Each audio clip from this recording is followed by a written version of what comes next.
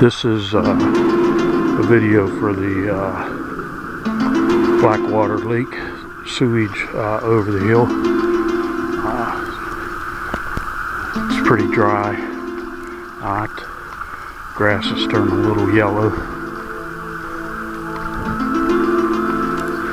This is the uh, storm source out here.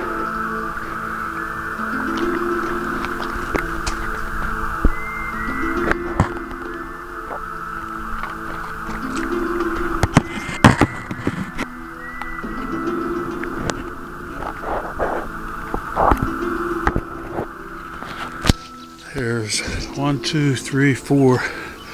None of them hold any water. None of them has even a a drip of water in them. They're bone dry.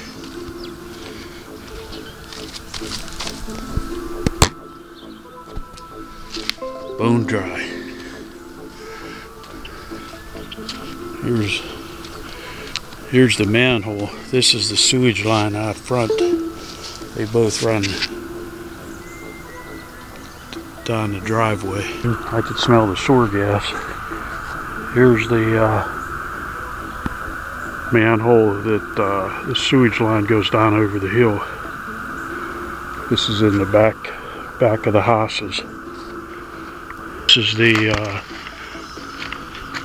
creek uh, where the storm sewer culverts uh, come out and the uh, sewage line runs down along here and down that valley.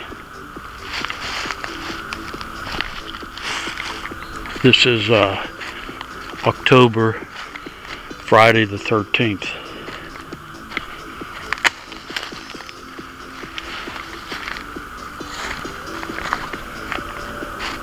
And here's the water leak.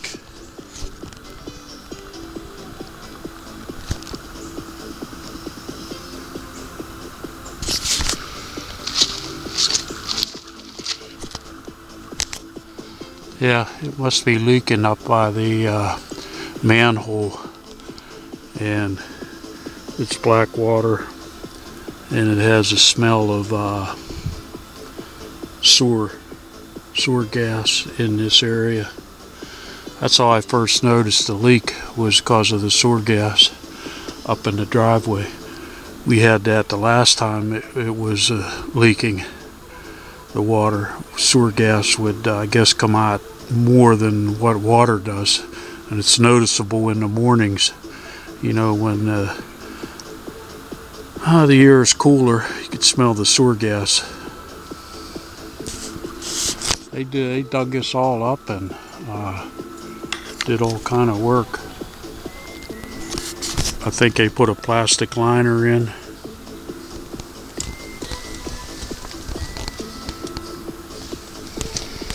Well, this this is the first time. This is usually bone dry, just like the uh, out on the street.